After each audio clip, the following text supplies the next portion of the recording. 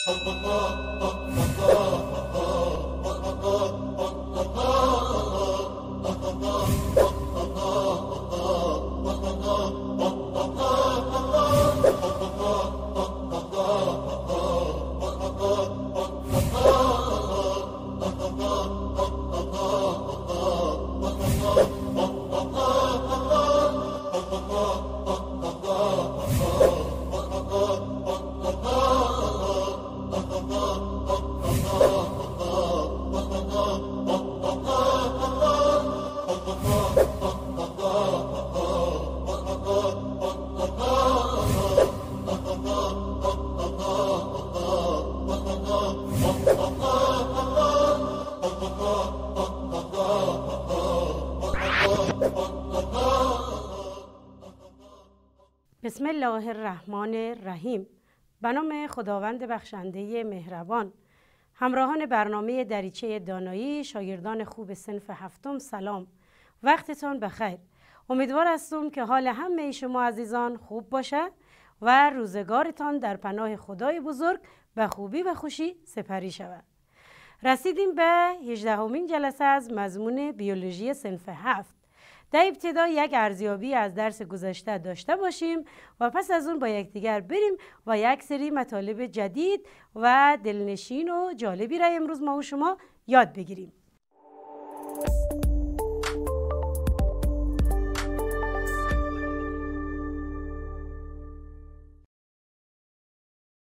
خب شاگردای خوب انشالله که درس گذشته را به خوبی یاد گرفته باشین. امروز در سوالات ارزیابی درس گذشته سوالات تشریحی را من برای شما انتخاب کردم. امیدوار هستم که همه شما عزیزان بتانید جوابی درست و صحیح به این سوالات بدین. سوال اول انواع تکسر غیر جنسی را نام ببرید. خب ما در جلسه گذشته سه نوع تکسر غیر جنسی را نام بردیم. یک جوانه زدن. دو قلم زدن. و سه پیوند زدن انشالله در صنف هشت یک روش دیگه هم از تکسر غیر جنسی را یاد خواهید گرفت. سوال دوم در روش قلم زدن از کدام بخش نبات استفاده میشه؟ خب ما و شما به خاطر داریم که در روش قلم زدن ما یک نباتی را انتخاب می‌کنیم که اون نبات را قصد تکثیر او را داریم. یک قسمت از شاخه یا ساقه یا برگ اون نبات از نبات اصلی جدا می کردیم و یا در داخل آب و یا خاک قرار می دادیم تا ریشه جدید تولید شود. سوال سوم چگونه می توان دو درخت سیب را به هم پیوند زد؟ در این سوال روش پیوند زدن مورد نظر است. خب یک درخت را یا یک درخت سیب به عنوان گیاه یا نبات پایه انتخاب می کردیم و یک شاخه ای را از این نبات پایه جدا می کردیم و یک شاخه را از یک نبات دیگه البته از همان گونه را که جدا کرده بودیم به جای این شاخه جدا شده بر روی نبات پایه قرار می‌دادیم و او را میبستیم. و به مرور زمان شاخه جدید به نبات پایه یا درخت سیب اولیه ما و شما پیوند می‌خوره سوال چهارم در کشت کچالو از کدام روش تکثیر غیر جنسی استفاده میشه؟ خب شاگردای خوب کی به یاد داره که کچالو را از کدام روش غیر جنسی ما تکثیر میدیم؟ آفرین به او شاگردی که گفت از روش جوانه زدن. ما در کچالو او قسمتی از کچالو را که جوانه های جدیدی بروی او ایجاد شده را جدا می کردیم و این بخش همراه جوانه خودش به زیر خاک مناسب و محیط مناسب قرار می دادیم و به مرور زمان این جوانه ما و شما رشد می کرد و سر از خاک در می آورد. سوال پنجم مهمترین مواد غذایی مردم ما از کدام نباتات تأمین میشه؟ خب در جلسه گذشته ما اشاره کردیم که قدیم مهمترین مواد غذایی مردم ما و شما از خانواده قلات تأمین میشه. اما در سوال بعدی قدیمی ترین نبات سوال میشه. پس دو نکته ما در جلسه گذشته یاد گرفتیم مهمترین و قدیمی ترین را در سوالات چارگزینه ای صحیح و غلط و جای خالی خوب دقت کنید. در سوال آخر قدیمی ترین نبات سوال شده که در کشور ما و شما رایج بوده. که جوابش حبوبات میشه. اگر مهمترین سوال کنه قلات میشه. خب امیدوار هستم که درس گذشته را خوب یاد گرفته باشین و به همه سوالات امروز پاسخی درست داده باشید.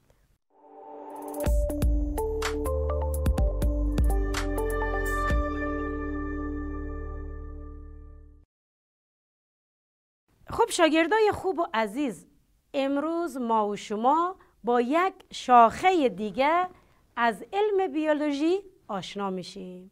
حالا ببینیم که این شاخه جدید علم بیولوژی چی نام داره و پیرامون چه موجودات و چه پدیده های بیولوژیکی صحبت می‌کنه. خب شاگردای خوب امروز شاخه از علم بیولوژی را ما و شما می‌خوانیم به نام علم اکولوژی ما به شما اشاره کردیم که این لوژی آخر به معنای علم هست و امروز می‌خوانیم که این ایکای اولیه که در ابتدا آمده به معنای محیط بود و باش خواد بود.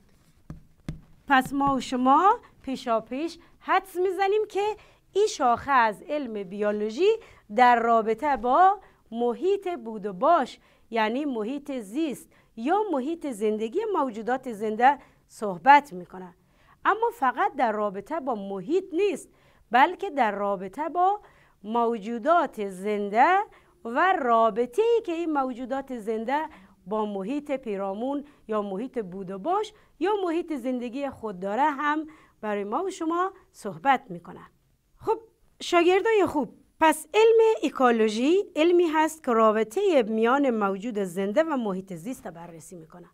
ما و شما می‌دانیم که موجودات زنده یکی از ویژگی های مهمی که داره ای هست که به تنهایی در اجتماع زندگی نمی‌تونه بکنه.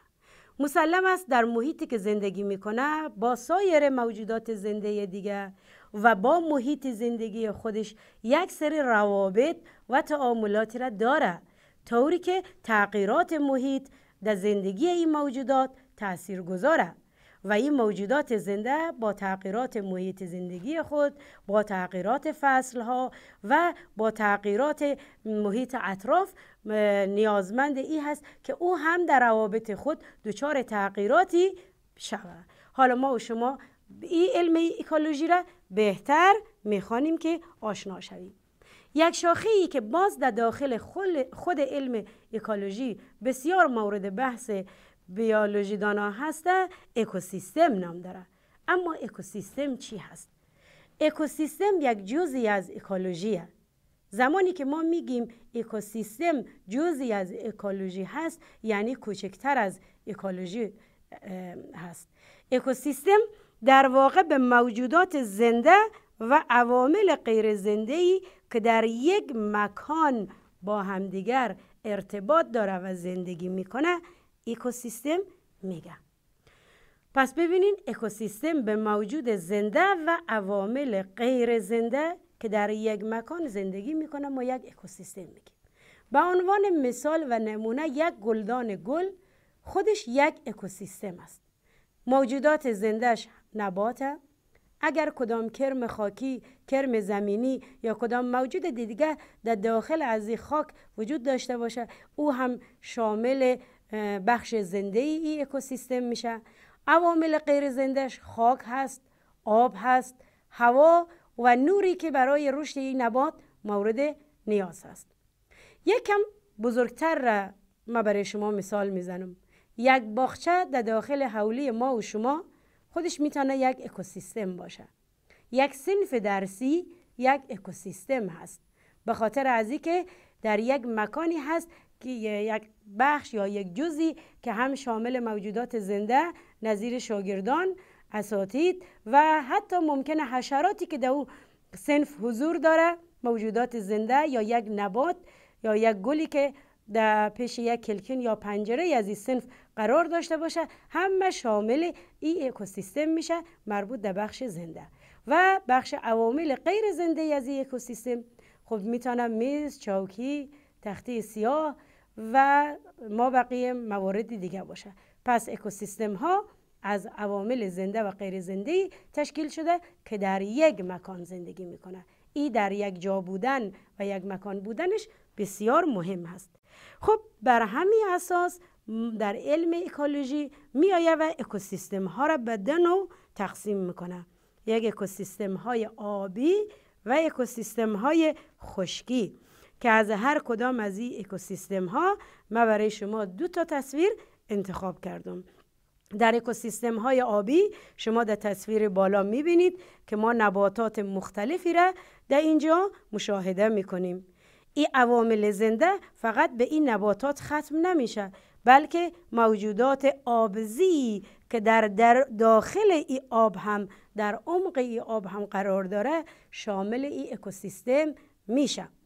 و در اکوسیستم پایین هم که شما می‌بینید اکوسیستم خشکی هست موجوداتی هست که به صورت گله‌ای در اینجا حضور داره. ما و شما اینا رو می‌بینیم که برای خوردن آب به لب آب دریاچه یا رود آمدن. بعضی از موجوداتی که در این خشکی حضور داره بسیار ممکنه دانش موجودات خوردی باشه که حتی در تصویر دیده نمیشه. خود همون خاک و خود همون نباتی که در قسمت های خشکی رویش می‌کنه. همه شامل اجزای اکوسیستم های خشکی هست. خب ما عواملی را که در یک اکوسیستم وجود داره عوامل فیزیکی یا غیر زنده ای اکوسیستم ها را برای شما یک یک نام می‌گیریم که این اجزا بسیار مهمه. و اگر در کدام جایی یا در امتحانی سوالی از شما پرسیده شود که عوامل فیزیکی یا غیر زنده یک اکوسیستم نام بگیرید شما حرارت، نور، آب، هوا و خاک باید فراموش نکنید. اما هر کدام از اینا در اکوسیستم های مختلف ما و شما چه تأثیری دارند؟ خب شاگردای خوب اولین جزء عوامل غیر زنده حرارت است. حرارت یا دما بسیار بسیار مهم هست در هر اکوسیستمی. خب این حرارت هست. بعضی از موجودات زنده هست که در حرارت یا دمای بسیار بالا زندگی می‌کنن و در بعضی از موجودات در دما و حرارت بسیار بالا از بین میره و قدرت حیات خود از دست میدن. حتی ما موجوداتی رو داریم که به اونها جانداران یا موجودات خونسرد و خونگرم گفته میشه که این موجودات موجوداتی هستند که نسبت به تغییرات دمای محیط بدن اونها هم تغییر می‌کنن. خب شاگردای خوب در سنوف سالهای گذشته شما در کتاب ساینس جانداران خونسرد و خونگرم خواندین. هرگاه موجودات زنده ای که محیط داخل بدن اونا با تغییرات فصل تغییر کنه ای جانداران ما خونسرد میگیم. معمولا زوحیاتین شامل این گروه از این گروه از موجودات هست. و موجودات دیگه ای که دمای داخلی بدن اونا ثابت است و با تغییرات محیط تغییر نمی‌کنه جانداران یا موجودات خونگرم گفته میشه که پرندگان و پستانداران جز این گروه از موجودات هست. حتی ما و شما می‌بینیم که خرس های قطبی با شروع فصل سرد سال به خواب زمستانی فرو میرن و هنگامی که در بهار هوا گرم میشه مجددا اینها از خواب زمستانی بیدار میشه. برای همین هست که خرس های قطبی ذخیره چربی بسیار زیادی در زیر پوست خود داره که در زمان زمانهایی که در خواب زمستانی هست اما باز هم سیستم های مختلف درونی بدن اونا نظیر سیستم تنفسی و سیستم های محیطی دیگه بدن اونها به فعالیت خود ادامه میده و انرژی مورد نیاز از ذخیره چربی های اونا استفاده می‌کنه خب عامل غیر زنده دیگه یا فاکتور غیر زنده دیگه اکوسیستم ها نور هسته و نور مهمترین منبع تامین انرژی هست موجودات زنده. چرا که عمل ترکیب زیایی یا فتوسنتز در نباتات بسیار ضرورت شدید به نور داره و زمانی که نباتات قدرت ترکیب زیایی یا فتوسنتز نداشته باشه خب چرخه مواد غذایی هم به هم می‌خوره که انشالله در جلسه بعدی زمانی که زنجیره های غذایی را ما و شما بخوانیم به اهمیت این موضوع بیشتر پی می‌بریم. خب ویژگی بعدی آب هست. آب به عنوان مایه حیات یاد میشه.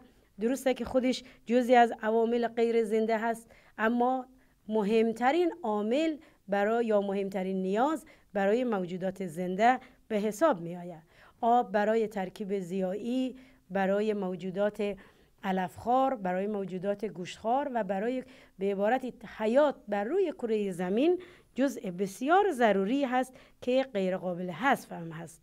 خب فاکتور یا عامل غیر زنده دیگه هوا هست. هوا به دلیل تأمین گازات تنفسی اکسیژن ها و کربن دی اکساید خودش و نیتروژن موجود در هوا بسیار ضرورت داره برای نباتات و برای سایر موجودات زنده. بخش غیر زنده و مهم دیگه در اکوسیستم ها خاک را ما می‌تونیم نام بگیریم. که خاک یک جزء بسیار مهمی هست. چرا؟ چه بسا از جانداران زیادی که در داخل خاک زندگی می‌کنه از جانداران کوچک و مایکروسکوپی نظیر بکتری ها و fungi ها گرفته تا کرم های خاکی. علاوه بر حضور موجودات زنده در خاک خود خاک هم از بخش تأمین مینرال های موجود در خاک و قرار دادن این مواد در اختیار ریشه نباتات در عمل فتوسنتز یا ترکیب ضیایی بسیار بسیار اهمیت داره.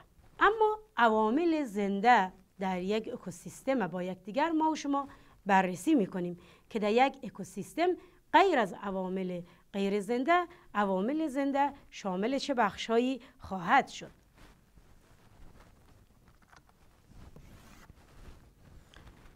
خب حالا ما و شما عوامل زنده را با یک دیگر می‌خوانیم. عوامل زنده در یک اکوسیستم. هر اکوسیستمی در هر جایی و به هر اندازه ای که باشه عوامل زندهش شامل تولید کنندگان هست.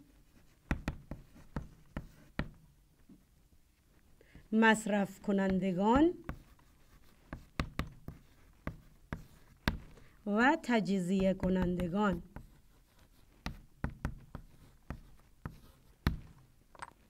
که هر کدام از این عوامل نسبت به خود و به جایگاه خود بسیار اهمیت دارد طوری که اگر ما هر بخشی را از این عوامل زنده را حذف بکنیم این اکوسیستم با وجود اینکه تمام عوامل غیر زندهش تکمیل باشه و سایر عوامل دیگه باشه با از دست دادن یک قسمت یا یک بخش یا یک جز از عوامل زنده دچار اختلال میشه و اون موجوداتی رو که در اون اکوسیستم زندگی می‌کرده به مرور زمان ممکنه از دست بده. امروز ما و شما می‌بینیم که نسل بعضی از جانداران رو به انقراض است. ای رو به انقراض یا از بین رفتن یا به دلیل تغییرات محیطی هست و یا به دلیل تغییراتی که انسانها نسبت به اکوسیستم ها ایجاد می‌کنه.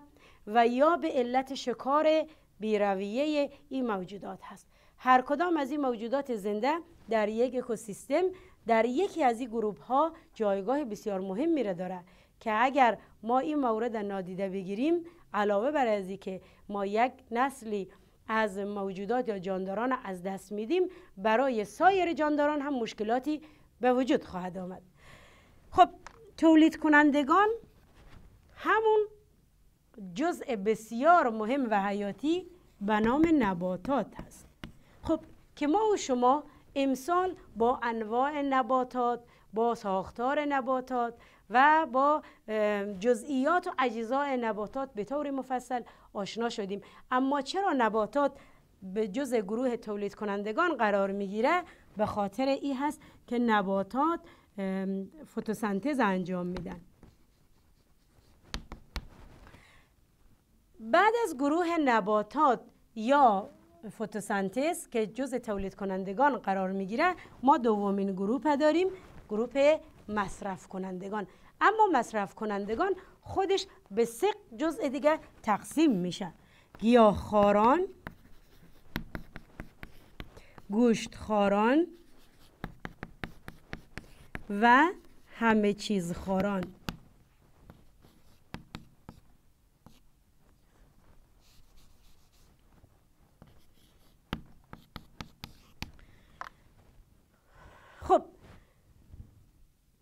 معمولا حیواناتی نظیر گاو و گوسفند جزو گروه گیاهخواران هستند.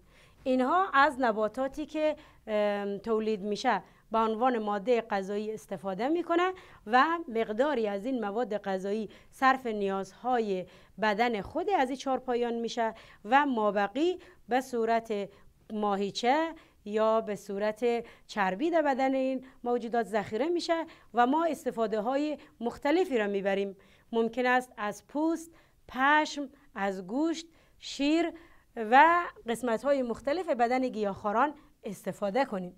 خب گوشتخواران از نظر غذایی بسیار وابسته به گیاهخواران است. به این خاطر که این گوشتخواران مستقیم نمی‌تونه از نباتات و گیاهان برای همیشه به عنوان منبع غذایی استفاده بکنه بلکه گوشتخواران از ماهیچه ازوله یا گوشت بدن گیاهخواران استفاده می‌کنه خب همه چیز خاران هم که معمولا انسان ها جزو این گروه قرار می‌گیره هم قدرت استفاده از نباتات و هم استفاده از گوشت یا ماهیچه را داره. اما با توجه به نیازهای بدن موجودات زنده ما نمی‌تونیم که یک قسمت از این منابع غذایی را حذف کنیم و بگیم صد درصد می‌تونه با فقط خوردن گوشت یا فقط خوردن نباتات به زندگی ادامه بده که این به خاطر ازی هست که هر کدام از این مواد غذایی بخشی از نیازهای بدن ما و شما را تأمین می‌کنه. به طوری که کمبود هر کدام از اینا دچار مشکلاتی برای موجودات زنده میشه. اما سومین بخش از عوامل زنده یک اکوسیستم تجزیه کنندگان نام داره. این تجزیه کنندگان بسیار اهمیت داره.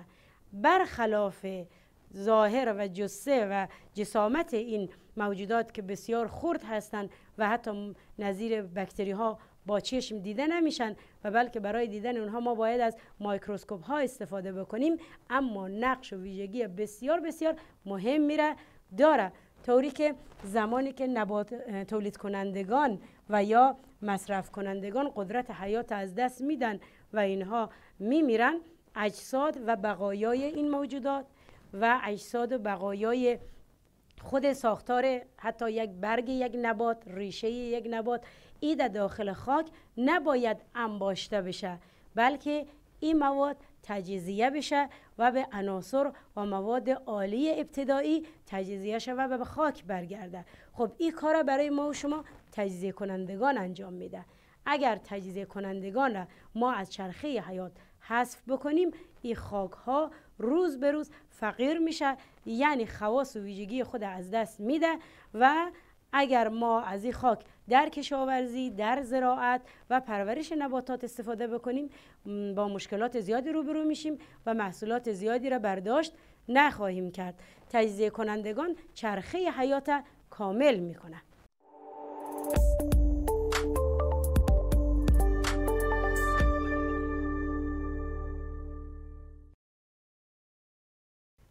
شاگردای عزیز ما در یک اکوسیستم اجزای اصلی را امروز ما و شما یاد گرفتیم.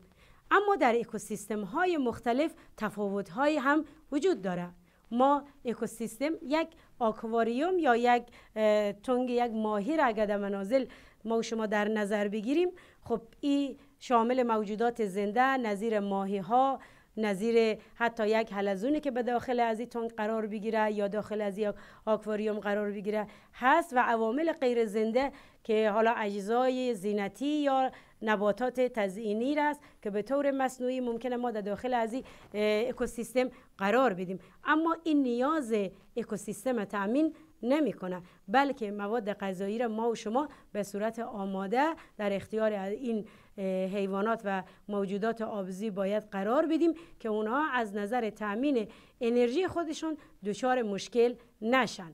در اکوسیستم های آبی بزرگتر یعنی نظیر دریاها، دریاچه ها و یا رودها را اگر ما و شما در نظر بگیریم باز هم همین اکوسیستم اما در ابعاد کلانتر و بزرگتر وجود داره خب ما علاوه بر روابطی که از نظر غذایی در داخل این اکوسیستم ها وجود داره یک سری روابط دیگه ای را هم در بین این موجودات در اکوسیستم ها می‌بینیم که علم ایکولوژی به بررسی همین روابط هم می‌پردازه. رقابت هایی که در بین موجودات زنده در داخل یک اکوسیستم آبی بزرگ وجود داره. از رقابت های غذایی گرفته تا رقابت های جفتیابی و تا رابطه شکار و شکارچی و به نوعی زندگی سیادی. و حتی ما زندگی انگلی را هم در داخل ازی اکوسیستم های آبی بزرگ می‌بینیم که انشاءالله در سنف های بالاتر در سنف 11 شما با این نوع زندگی ها در داخل اکوسیستم ها آشنا میشید. همیشه این روابط به نفع موجودات زنده یک اکوسیستم نیست بلکه موجودات زنده که از نظر قدرت دچار نقصان باشه. یعنی قدرت کمتری داشته باشه نیروی کمتری داشته باشه. همیشه به وسیله یک موجودات بزرگتر مورد شکار واقع میشه به عنوان یک تومه خورده میشه. یعنی هر چقدر اکوسیستم های ما بزرگتر باشه موجودات قدرتمند این اکوسیستم ها از نظر جسه و جسامت بزرگتر میشه و جانداران خرد و جانداران ریز تعداد اونها کمتر خواهد شد. به همین دلیل هست که از این موجودات ریز به عنوان غذا استفاده میشه. اما این موجودات از نظر توانایی زندگی هم با یکدیگر متفاوت هست. حتی در داخل آب هم ما هر چقدر به سمت پایین و عمق این اکوسیستم ها پیش بریم دمای هم آب تغییر می‌کنه فشار آب تغییر می‌کنه. به طوری که یک گروه از موجودات ذره به نام پلانکتون ها را ما و شما می‌بینیم که بسیار خرد و کوچک هست اما منبع تشکیل نفت و یا تل هست که به عنوان یک ماده سوختی در صنعت بسیار اهمیت دارد.